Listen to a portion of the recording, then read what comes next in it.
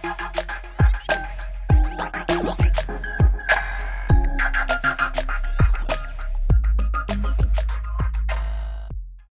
Understand that social media is a place where everyone can share their thoughts, give their opinions, and speak their minds about the various things that happen in the world. But at some point, we're going to have to start checking some people. At some point, we're going to have to look at all of these random hot takes and consider which ones are true, which ones are factual, and which ones need to be thrown into the ether. Because a lot of these people think what they're saying is 100% true, and as long as they have an audience, everyone will gravitate towards it, and everyone will 100% agree because that's their audience an audience of people who will buy something just because one person says it. And if you go against that, if you speak ill of that, if you try to prove that what that person is saying is completely idiotic, you will have to show evidence. You will have to go out of your way to prove that someone saying some random thing which is 100% not true, you'll have to prove that while that person strokes themselves to his own ego. For some reason, people like to go around and give out these opinions but don't want to defend them when people check them. So today, I'm going to check somebody on their weird opinion revolving black people committing Asian hate crimes. Now I have to say this for all the people who are only going to watch 10 seconds of the video and go straight to my comments and call me a grifter or a pick me or a white supremacist or someone who likes sucking white people's dick. But if you enjoy hate crimes, if you enjoy committing hate crimes, if you enjoy making excuses for people committing hate crimes, go fuck yourself. No matter the gender, the race, ethnicity, no matter what you feel inside, no matter if you're having a good or a bad day, if you are going around committing violent acts, participating in violent acts, or making excuses so that the the person committing the violent act can get away with it, go fuck yourself right in the ass because you are the worst type of human being. For some reason, there are individuals who will take situations and just throw it at white people and make it a white person's problem. Make it the reason why situations are happening is because of white people. And one of these individuals, Eugene Gu, is going around claiming that if black individuals are attacking the Asian community, it's obviously because of those evil, pasty white people who have better lives than them.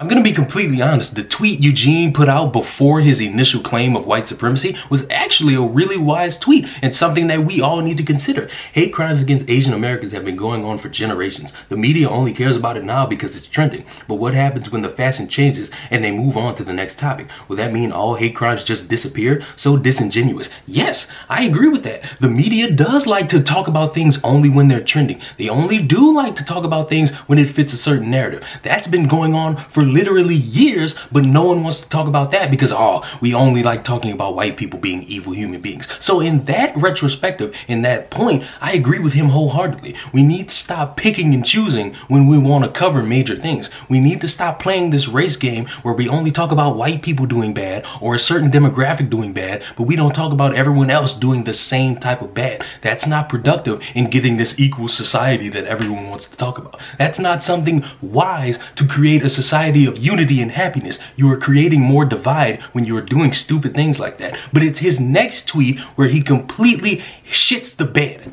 Black on Asian crimes only occur because of our system of white supremacy that strips African Americans of their economic opportunities while taking respect and dignity away from Asian Americans. Also, white people in power are experts at dividing and conquering to stay in power. It's interesting how he's sitting there saying people are using their power to divide people and conquer over others while he's actively dividing people. He's dividing white people, he's dividing black people, and he's dividing Asian people. How are you going to sit there and claim that black people, their reason for attacking another human being who also has a right to exist on this earth, their reason for attacking them is because of the random white dude who's more successful than them. Do you know that you're taking accountability and you're just throwing it to the side and you're pinning everything just on the white person? What sense does that make? How are you going to sit there and be someone who's relatively famous on social media? You got a blue check mark, you're verified, people know who you are. I'm pretty sure people my age, you know, the ages of what, 18 to like 24 know who you are. I'm pretty sure young people know who you are. Why are you sitting there spewing that nonsense with no evidence to back it? Why are people buying this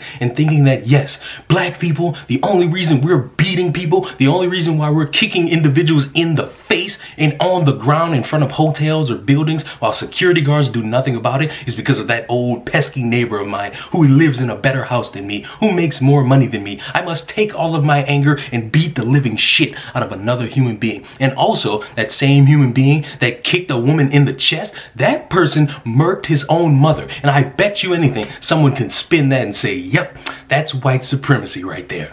But you know, I'm a fair man, so I want to put Eugene's theory to the test. So with the help of the quartering, what we're going to do is get a bunch of black people and have them attack a bunch of Asian Americans. We're going to have them beat the living shit out of every Asian that they see. And then, once we get it all on camera and we report it to the police, we're going to bring all of those black individuals into the interrogation room. And one by one, we're going to say it was because of the quartering and his white supremacy. We're going to say it was because he is more successful than every black person that we bring to the interrogation table. And if every single time the police say, yes, white supremacy is evil, we apologize for you attacking another human being, you can walk free. If the police say that, I will get on all fours and suck upon Eugene's lovable ear sac. But because I know that that's not true, and because I know what Eugene said is mirrored in a lot of hypocrisy and no factual statements whatsoever, I am comfortable saying that Eugene Gu is spouting nonsense that people need to not listen to. Because because it takes away accountability. It ruins people's chances to actually learn something and inspires them to just do things and blame it on white people thinking that they can get away with it.